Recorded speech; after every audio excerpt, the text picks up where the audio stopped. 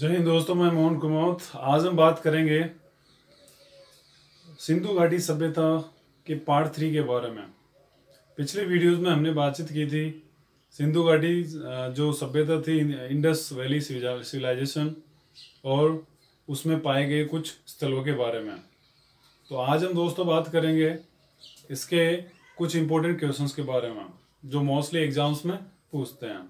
तो स्टार्ट करते हैं आज का topic just look at the board तो इसके कुछ इंपॉर्टेंट क्वेश्चन पहला क्वेश्चन है, सिंधु घाटी सभ्यता के जो शहर थे, उनकी गलियाँ किस तरह की थी?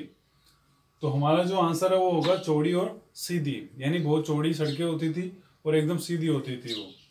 दूसरा, हड़प्पा के खंडर किस नदी के तट पर स्थित थे? तो हड़प्पा जो नगर था, जो पाया गया था खुदाई में, उस, वो रावी नदी के तट पे था। तीसरा है मोहनजोदाड़ो के खंडर जो किस नदी के तट पर थे? वो थे सिंधु नदी के तट पर। चौथा मोहनजोदाड़ो में सबसे बड़ा भवन, उसे धान्यागार नाम से जाना जाता है। पांचवा विशाल स्नानागार ग्रेट बाथ कहाँ मिला? जो मोहनजोदाड़ो में मिला।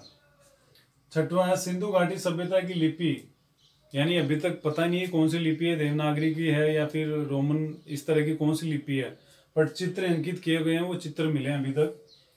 सातवां सिंधु अर्थव्यवस्था की ताकत थी। तो एग्रीकल्चर था उसका, कृषि था। यानी कृषि प्रधान वो सभ्यता थी। आठवां है, हड़प्पा टीले का सर्वप्रथम उल्लेख। चार्ल्स मैसन ने किया था 1826 ईस्वी में। लेकिन वो श्योर नहीं था कि ये कोई सभ्यता है क्या। उसने केवल इसका पता लगाया था। पहली बार कपास उगाने का श्रेय सिंधु घाटी सभ्यता के लोगों को ही जाता है। दसवा क्वेश्चन है, सिंधु घाटी सभ्यता के लोगों का मुख्य भोजन क्या था? वो था गेहूँ और जो हड़प्पा कालीन मोहरे अधिकांशतः बनी थी, वो आपको ध्यान रखना, सेल खड़ी से बनी हुई थी, वो मोहरे होती थी वो।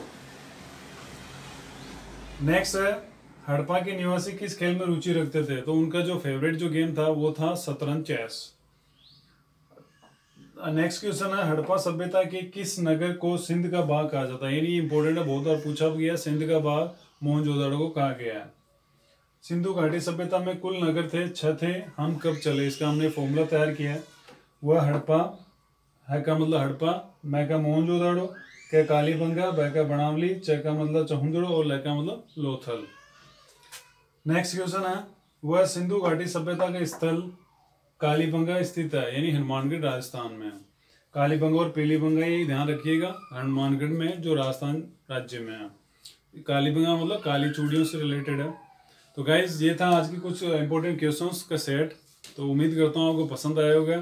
तो सीखते सीखते रहिए अपना ग्रो करते रहिए। जय हिंद, वंदे मातरम।